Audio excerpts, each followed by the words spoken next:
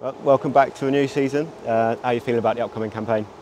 Yeah, really excited. It's um, boys have worked really hard over the last six weeks to um, to get ready um, for the season. So it's been some good work on and off the pitch. Um, some really good friendlies we've had.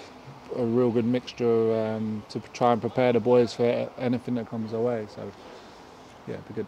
You've named Milton Oni as your captain for the 23-24 uh, season. What was the thought process behind that decision?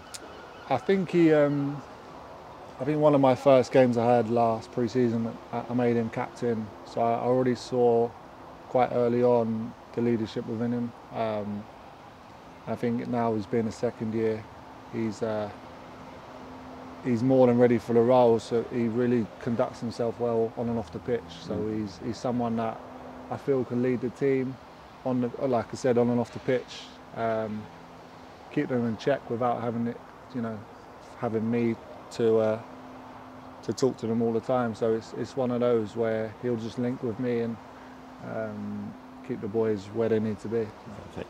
It was a tough loss to Arsenal recently. Uh, however, they were a very strong opposition, and you managed to put three past them. How did you assess that game?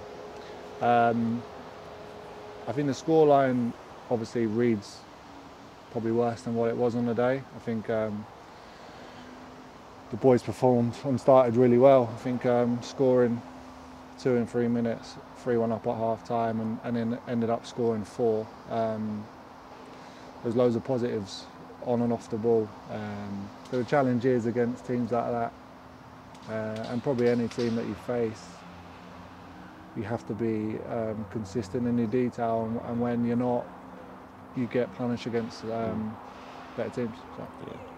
So it's Coventry tomorrow at Florence Park. How have the lads been training and is there an excitement in the air for a new season?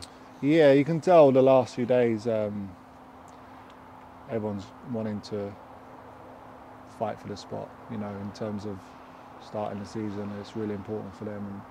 And um, no, it's been a good week. We've worked well on the grass, trying to prepare them in every way, and then um, it's a, it's a good game because last year it was our first game as well. So.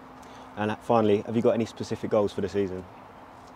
Yeah, we just want to improve on last year. we won 12 games last year, and um, I said to them this morning, the challenge is to, to better that and, um, in a weird way, draw more games because we lost too many. So for us, it's just to improve individually and, and as a group on what we've done last year. And we finished the season really well, and hopefully we can start it that way. So.